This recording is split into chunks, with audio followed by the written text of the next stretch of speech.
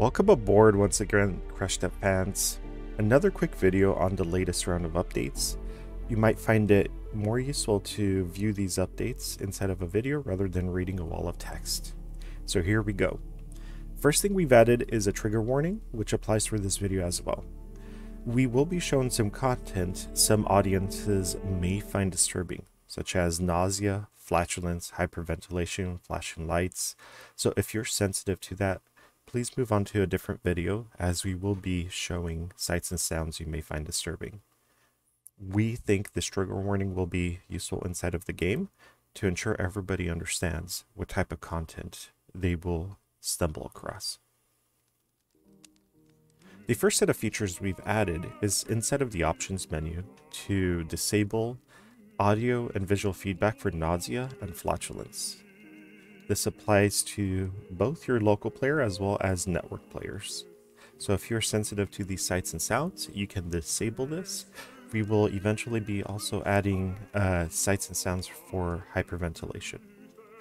Instead, we will provide visual cues that these actions are occurring so you can still understand the gameplay integration and the side effects without having to experience those directly and I'll discuss exactly what I mean by gameplay integration in just a moment.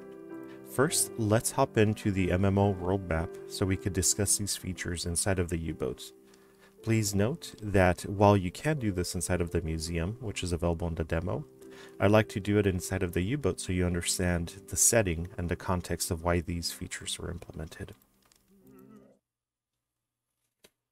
here we are inside of the control room of the U-boat, which I think is the perfect setting to show off these features and to discuss why we implemented them. So first you have to realize that the setting we are in is a metal cylinder under the water. That is a very inhospitable place for a human being to begin with. We're talking about a shared airspace which is not recycled or refreshed in any way. So let's consider having dozens of people stuck in this cylinder and the repercussions of that. So first feature I'll be showing off, again trigger warning, is flatulence. This is a natural side effect of being a human. This is a byproduct of the digestive system. And yes, people lived aboard the U-boat, they ate food, and they expelled flatulence. So first feature I want to show is using my remote player pressing the G key. Alright, so first you might be chuckling a little bit and thinking that this is quite silly. Why did we implement this? Well, in prior videos, we showed off how we now have a fully networked simulation subsystem which tracks the moles of carbon dioxide, oxygen, methane, and other gases inside of the different compartments. As you open the hatches, the gases mix, the pressure equalizes, and so on. Well, our player right now that expelled some bodily gases just introduced new moles of methane into the air. And as you have dozens of people doing this as a natural byproduct of being a human inside of the cylinder, the quality of the compartment, uh, that is the, you know, the different moles of different gases, potentially the odor, will change over time. And we want to ensure that audio visual feedback and other mechanisms are implemented so you can understand that being underwater for extended periods of times has a detrimental impact on the human body. This is a U-boat simulator, so beyond simulating just the incredibly complex machine, we want to ensure that we simulate life aboard the U-boat. The second feature, which we've had in for a long time, is the V key. Again, trigger warning. So what we've seen here is seasickness. Seasickness can occur. Uh, you know, some folks can become sensitive to the rocking of the boat under extreme circumstances.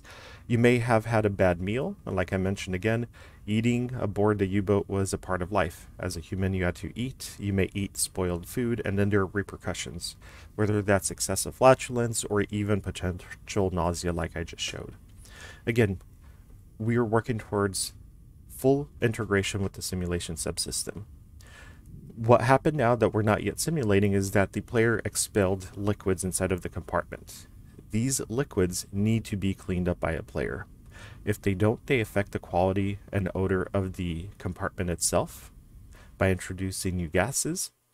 And we also have a liquid that has the potential to grow bacteria inside of the U-boat compartment. This will have a downstream negative impact on other players inside of the compartment. Imagine you're in a control room and you have all this vomit all over the floor. That will eventually make other players sick and they will respond to that. And while this may not be your central focus, such as turning a valve or looking through the periscope to try and hunt down a ship. The reality is that you have to live in this compartment and you have to keep it hospitable. And if you don't tackle that, uh, then I think we failed in achieving our dream of simulating a U boat to the full potential and full depth that we aim for.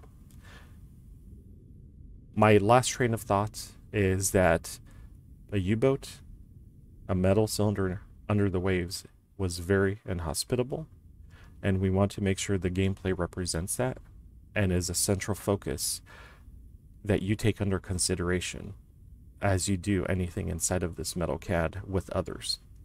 Coordinating with others, assigning assignments about different tasks and jobs, such as the medic or the cleaning crew, will be just as crucial and instrumental to your long term success as manning the trim station, for instance. Thank you again for joining us. I appreciate you taking the time to listen to my rationale of why we are implementing these things and how behind the scenes they're actually implemented to the simulation subsystems, which will continuously be upgraded to provide you with additional audio, visual, and other types of feedback so you understand the quality of your surroundings that you're in so you can make the appropriate decisions long term. Until next time.